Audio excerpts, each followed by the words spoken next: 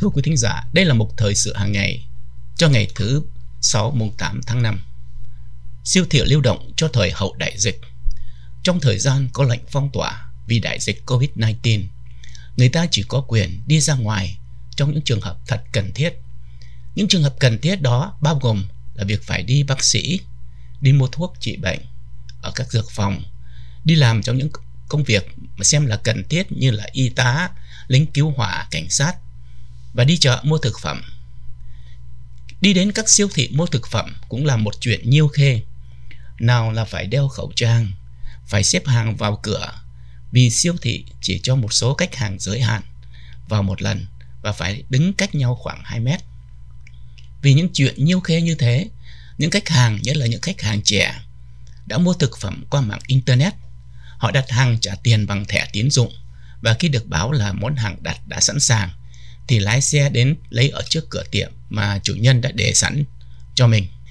Con người vốn thông minh và luôn tìm cách thích ứng với những hoàn cảnh mới. Hiện có siêu thị lưu động được thiết lập, giống như những xe bán kem lưu động mà chúng ta thường thấy trong mùa hè. Những chiếc xe bán kem với chuông kêu leng keng chạy chậm chậm vào khu dân cư, tìm những khách hàng nhỏ mà người mua là các khách hàng nhỏ nhưng mà bố mẹ là người phải trả tiền. Tuy nhiên, những siêu thị lưu động là những chiếc xe vận tải 18 bánh có cửa mở bên hông cho khách hàng có thể mở lựa mua những thực phẩm cần dùng từ những thứ như là rau trái tươi, trứng, jambon cho đến những thực phẩm cần để lạnh như thịt cá, vân vân. Một trong những nhà thương mại đầu tiên sẽ mở siêu thị lưu động ở vùng đại thủ phủ Toronto là ông Frank Sinopoli. Ông này sẽ mở siêu thị lưu động có tên là Grocery Neighbor và sẽ bắt đầu hoạt động vào mùa hè năm nay. Cũng theo ông Sinopoli, thì thay vì phải dùng tiếng chuông len keng mời chào khách hàng, người lớn, thì có một cái app trên điện thoại giúp khách hàng có thể biết giờ giấc nào là cái xe siêu thị này sẽ đến khu vực mà họ cư ngụ mà họ chỉ cần mở cái app trên điện thoại ra là biết giờ giấc. Ông Sinopoli nói là ông hy vọng công ty của ông sẽ có trên 1.000 xe siêu thị phục vụ cho đại thủ phủ Toronto vào mùa hè năm nay. Một công ty khác là công ty Cisco, công ty chuyên cung cấp thực phẩm cho các nhà hàng, các khách sạn trước từ trước đến nay đã chuyển hướng sang cung cấp thực phẩm cho các tư gia qua chương trình gọi là Cisco at Home. Theo ông Randy White, chủ tịch công ty Cisco chi nhánh Canada, thì hiện có nhu cầu của rất nhiều gia đình muốn mua những thực phẩm như thịt bò, bít tết, thịt gà hay tất cả những sản phẩm khác mà công công ty ông vẫn thường giao cho khách hàng. Ông White cũng nói là công ty của ông đã thiết kế lại những thùng đựng hàng cho khách hàng mua lẻ không quá lớn như những thùng hàng giao cho nhà hàng cho khách khách sạn. Có điều người ta không biết là giá bán sỉ của công ty này có áp dụng cho những người mua lẻ không.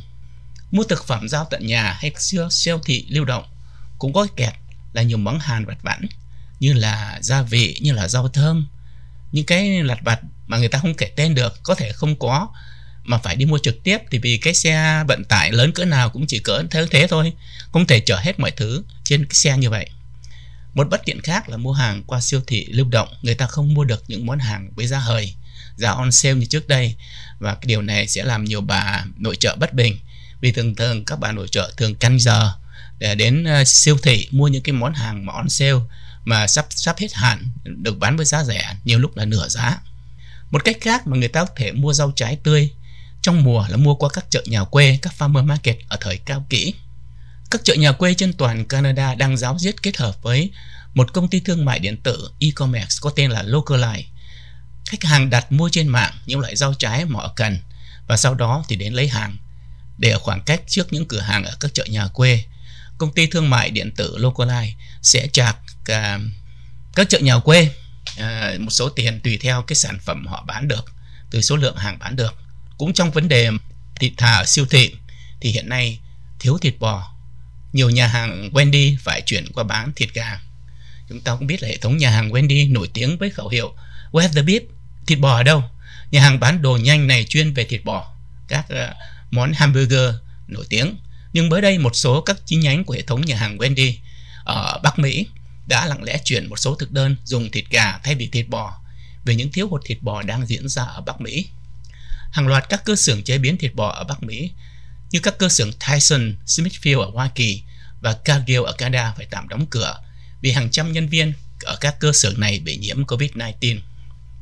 Theo những tin tức thông báo hôm thứ Tư ngày 6 tháng 5, có trên 1.000 cửa tiệm Wendy ở Hoa Kỳ đã không có thịt bò để bán và giá thịt bò ở Bắc Mỹ cũng đã gia tăng.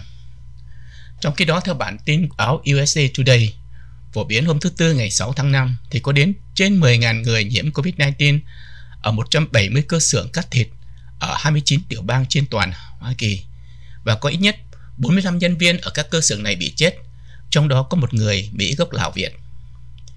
Tại tỉnh bang Alberta cũng có hàng ngàn nhân viên làm trong các xưởng cắt thịt của hãng Cargill bị nhiễm COVID-19 và có một người chết là bà Bùi Thị Hiệp, một người Canada gốc Việt. Các ổ dịch khởi phát ở các xưởng cắt thịt Hoa Kỳ đã khiến công ty phải đóng cửa ít nhất 40 cơ xưởng. Trong khi đó vì lo lắng là nếu các cơ xưởng bị đóng cửa sẽ gây tình trạng thiếu hụt thịt, không đủ cung cấp cho nhu cầu, Tổng thống Trump đã ra lệnh trực tiếp Executive Order buộc các cơ xưởng cắt thịt phải mở cửa lại. Hàng ngàn nhân viên các cơ xưởng bị cắt thịt nhiễm COVID-19. Những ổ dịch COVID-19 diễn ra ở các xưởng cắt thịt bò ở tỉnh bang Alberta đã gây thiếu hụt cho việc cung cấp thịt bò cho người tiêu thụ. Tính đến ngày thứ Sáu mùng 8 tháng 5, đã có 34 thợ cắt thịt bị nhiễm COVID-19 ở xưởng cắt thịt Harmony Beef ở thị trấn Bao Giác và có gần 1.000 thợ cắt thịt có dương tính với COVID-19 ở xưởng cắt thịt Cargill ở thị trấn High River. Ông Adam Fellinger, chủ nhân tiệm bán lẻ thịt Fellinger and Son Meat ở thị trấn Mucho, tỉnh bang Saskatchewan, nói với các phóng viên báo chí là không những số thịt cung cấp ở các cơ xưởng chế biến của tiệm của ông đã thiếu hụt mà giá tiền ông phải trả cho các công ty này cũng gia tăng. Ông Fellinger nói là giá tiền thịt bò bầm gia tăng thêm 1 đô la một cân Anh, trong khi giá tiền loại thịt roast beef gia tăng thêm 3.5 đô la một pound mà cũng không có mà bán. Cuối cùng chúng ta nói về một chút về cái loại virus corona đã đến từ đâu. Thì trong cuộc họp báo diễn ra hôm thứ Tư ngày 6 tháng 5, ông Andrew Cuomo, thống đốc tiểu bang New York đã tiết lộ một tin kinh hoàng là phần lớn những bệnh nhân vừa vào các bệnh viện ở tiểu bang New York vì nhiễm COVID-19 là những người theo lệnh tử thủ ở trong nhà trong nhiều tuần qua và không đi ra ngoài. Không đi ra ngoài tử thủ trong nhà, tại sao lại nhiễm bệnh? Tại sao lại nhiễm COVID-19?